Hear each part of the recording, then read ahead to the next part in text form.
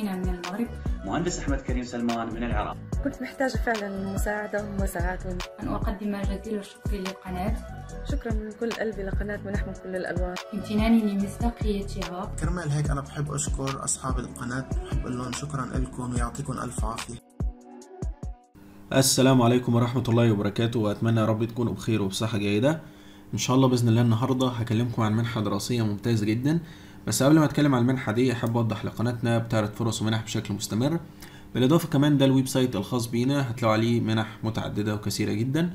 وكمان ما تنسوش تعملوا اشتراك في القناة وتضغطوا على الجرس الصغير ده عشان كل الفرص والمنح توصلكم بسهولة. طيب خلينا نبدأ على بركة الله ونتكلم عن منحة النهاردة. وهي منحة جامعة قطر لعام 2021 وهي المنحة الممولة بالكامل. طيب خلينا ناخد نبذة عن الجامعة دي. الجامعة دي بيدرس فيها عدد طلاب كتير جدا من مختلف العالم وخصيصا الدول العربية. والجامعة دي متميزة بكلياتها الرائدة في المجالات المتعددة مجالات كتيرة جدا متاحة في هذه الجامعة ومصنفة من أقوى الجامعات حول العالم. آه، وطبعا يعني التعليم في قطر معروف إن هو المصنف يعني رقم واحد على مستوى الدول العربية كلها. فمن أحسن التعليم في الدول العربية هو التعليم في دولة قطر دي حاجة معروفة. آه زي ما إحنا قلنا الدولة اللي هيكون فيها الجامعة دي أو الدراسة هي هتكون في دولة قطر الجهة المانحة هي جامعة قطر تمام؟ الدول المتاحة للتقديم جميع الدول المتاحة للتقديم سواء دولة عربية أفريقية آسيوية بتقدر تقدم على المنحة دي. المرحلة الدراسية الموجهة ليها المنحة دي المنحة موجهة لدرجة البكالوريوس فقط. يعني لو أنت مخلص ثانوية عامة وعايز تدرس بكالوريوس متاح لو انت في آخر ثانوية عامة آه في آخر سنة من الثانوية العامة بتقدر تقدم على البكالوريوس برضو مفيش مشكلة. تمام؟ طيب بالنسبة للتمويل عندنا التمويل في حاجة اسمها المنح الداخلية تمام؟ وفي حاجة اسمها المنح الخارجية. وركز بقى معايا المنح الداخلية هي المنح اللي بتقدمها الجامعة للطلبة المقيمين في دولة قطر. لو انت مقيم في دولة قطر حاليا حاليا بيكون ليك منحة في الجامعة دي اسمها منحة داخلية. والتمويل بتاع المنحة دي إنها بتشمل الاعفاء من الرسوم الدراسية والإعفاء من رسوم الكتب كمان تمام؟ وشروط الاستفادة من المنحة دي إن أنت تكون محقق للشروط والمعايير الخاصة بالمنحة تمام؟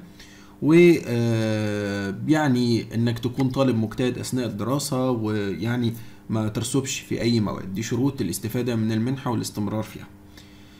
طيب بالنسبة للمنح الخارجية عندنا المنح الخارجية هي المنح التي تقدمها الجامعة للطلبة من خارج دولة قطر عن طريق التقديم الشخصي تمام؟ والتمويل آه، في المنحة دي بيشمل بقى آه، يعني التمويل بشكل كامل.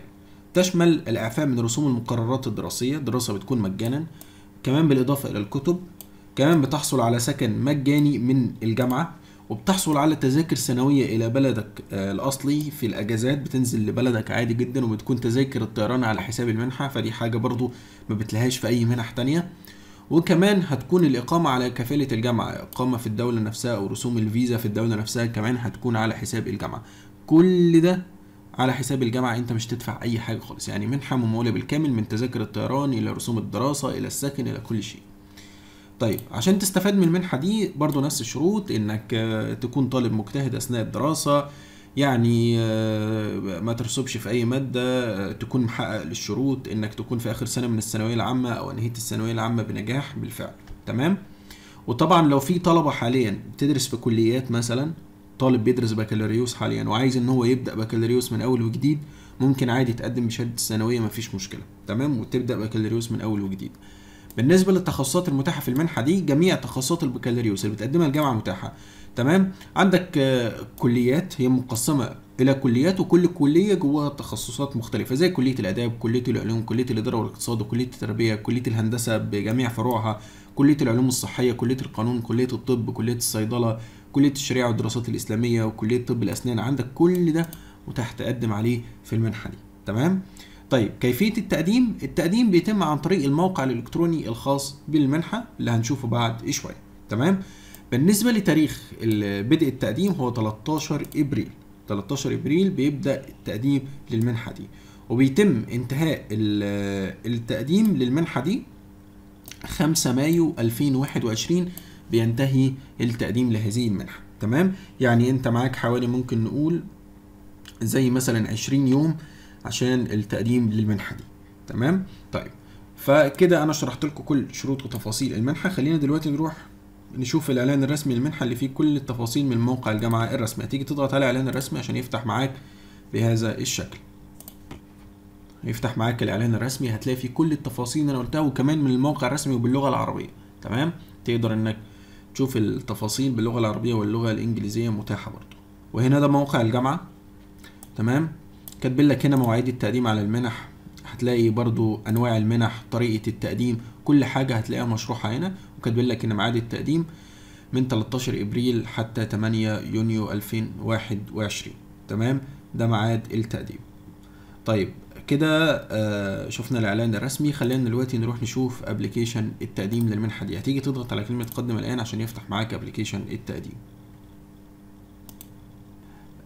طبعا ده الصفحة الرئيسية اللي هتظهر لك. أنا بالفعل شرحت المنحة دي السنة اللي فاتت وشرحت كيفية التقديم ليها ووضحت كل تفاصيلها.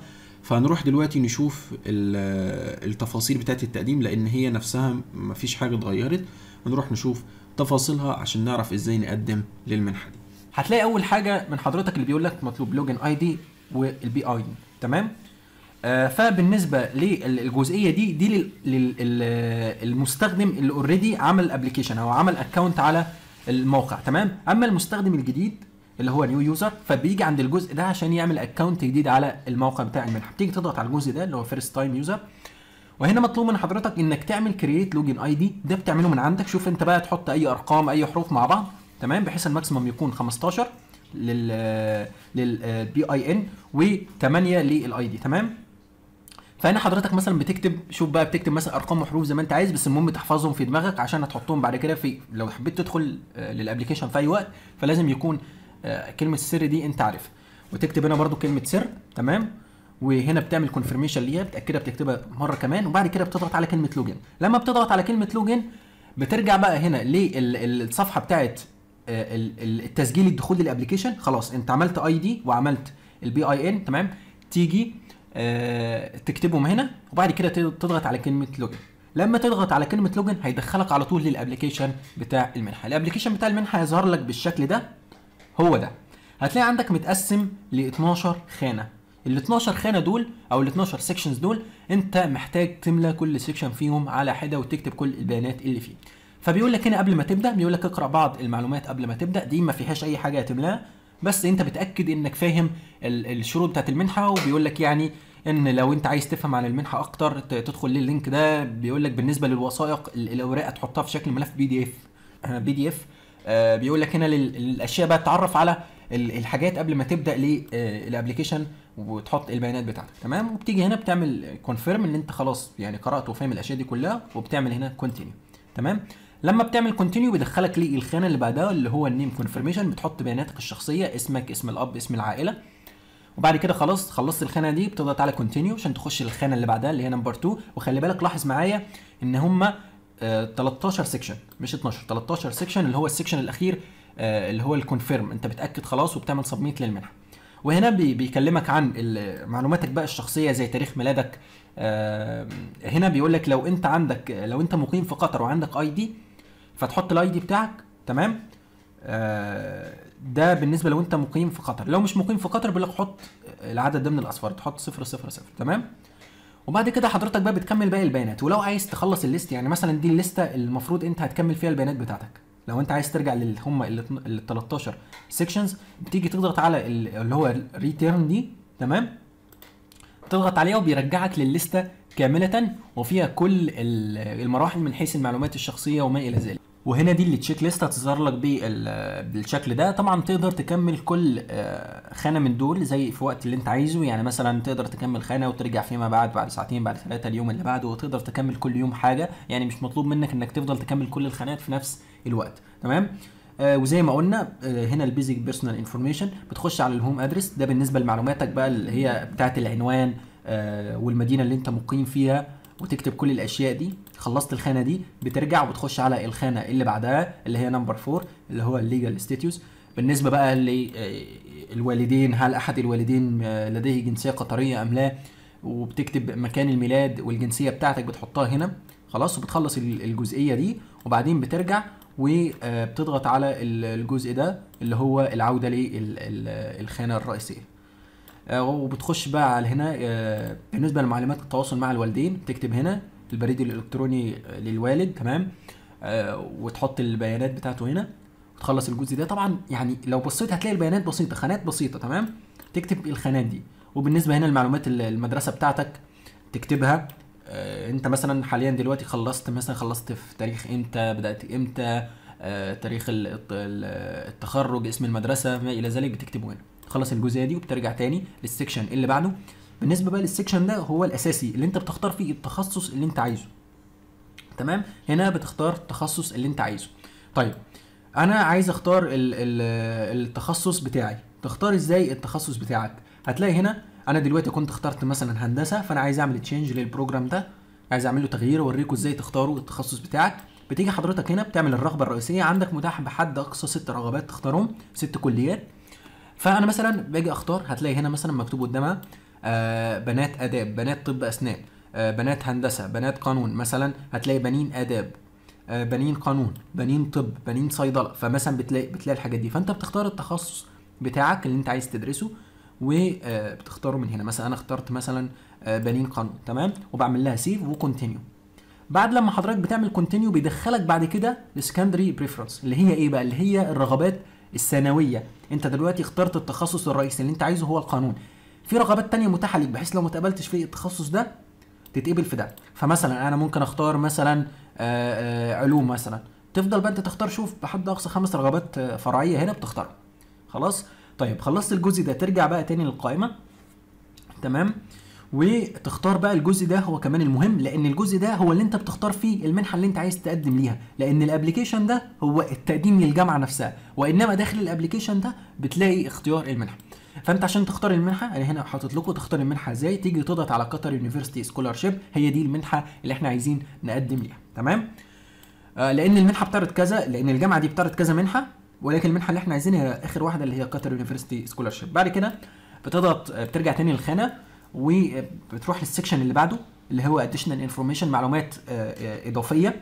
آه، بيقول لك هنا في المعلومات الإضافية بقى مثلا تدرج معلومات عنك عن والديك تحط إجابات على ذلك. والديك مثلا آخر مرحلة دراسية وصل إليها. والدك كانت ماجستير دكتوراه بكالوريوس ما ما, ما عندوش شهادة بتختار بالنسبة للوالدين إيه المؤهلات الدراسية بتاعتهم. بعد كده بترجع للخانة دي الرئيسية. تمام؟ وبتخلص بتروح للجزء اللي بعده بقى اللي هو upload documents اللي هي مرحلة آه تحميل الوثائق. تمام؟ هتلاقي حضرتك هنا بيقول لك اختار نوع المستند اللي انت عايز تحمله. لو انت آه شخص موجود في قطر تمام؟ يبقى تحط الهوية ال- القطرية. تمام؟ لو انت آه مش قطري يبقى تحط الباسبور بتاعك. يبقى ال- الأول حاجة دي بالنسبة للناس المقيمة في قطر أو بالنسبة للناس القطريين. إنما لو انت مش قطري يبقى تختار الباسبور. تمام؟ وتحط تحميل لصورة جواز السفر. بعد كده اللي بعده تختار الترانسكريبت بتاعك كشف الدرجات بتاعت الثانوية وتحطها. بعد كده تختار صورة شخصية بحجم جواز السفر وتحطها هنا.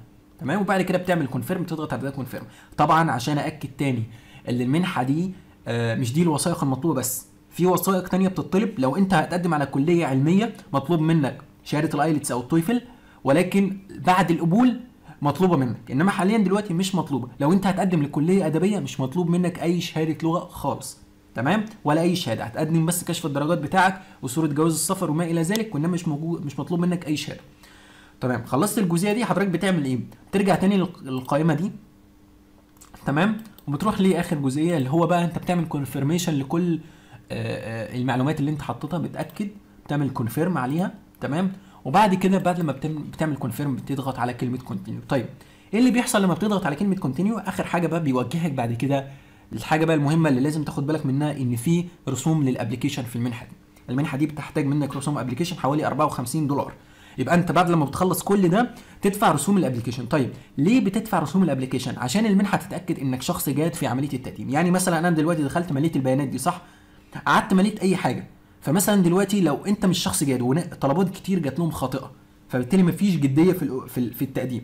فبالتالي هم بيعملوا رسوم لل application عشان يتأكدوا الشخص ده بيملى ال application صح عشان يعرفوا إن هو شخص جاد في عملية التقديم. ومعظم الدول الأوروبية والجامعات القوية الجامعات اللي في أوروبا أو الجامعات اللي بتكون قوية زي في قطر مثلا بتفرض رسوم لل application يبقى قلنا رسوم ال application 54 دولار بعد لما بتدفع كده طلبك بيوصل للجامعة وبيبدأوا يراجعوه وبعد كده بيخبروك ب